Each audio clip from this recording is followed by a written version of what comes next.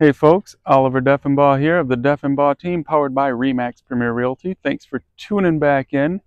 Um, today we're going to show you an Austin model in the villages. So let's get into it.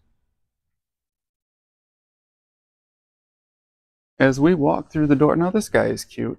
This really, really is a cute little house. I really like it. Um, nice vaulted ceilings up here. Um, open floor plan. of the living room area, kitchen back there, two bedrooms over here. Now, this model is very reminiscent of the Amarillo model or the azalea, the maple, very, very same uh, or similar floor plan. So we'll take a look. We have the one bathroom up here, guest bath. Uh, does have a solar tube up there too. Guest bedroom. Looks like laminate flooring. Actually, I think these are uh, engineered hardwood, actually. we come through here. There's the kitchen. Has this bar over here, pantry up in that direction. Kitchen gives you access to kind of take a look at the whole living room, dining room at one time. So we call it open concept. Stainless steel appliances, nice cabinetry. It does have a car and a half garage.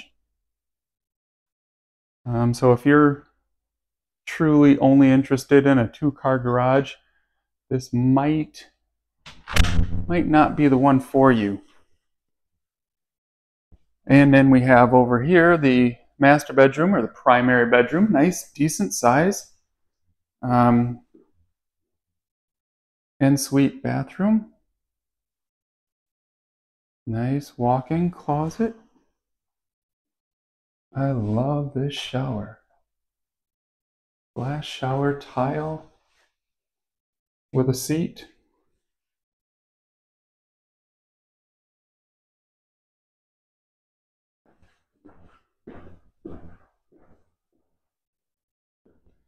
This direction. Out here we have the patio. Well, this is actually an expanded Austin. So this is this typically um, wouldn't be this big of a room, and it also um, would be just screened in. These are windowed off here. You know, a wall of windows, wall of glass back here. Those are electronic up there, so you have a electronic button and they'll come down, cover it for shade. This is the the bird cage or the mansard lanai they call it. And this is under roof also, but screened in. So it gives you outdoor undercover and then outdoor not undercover out there. And then also this room. It is under heat and air with the main unit. Does have a beautiful pass-through window here. This property is listed for 339 just had a little bit of a price change. So as always, if you'd like to see this one or you'd like to see anything else, by all means, please contact me. Please like, follow, and share for more content. Thanks.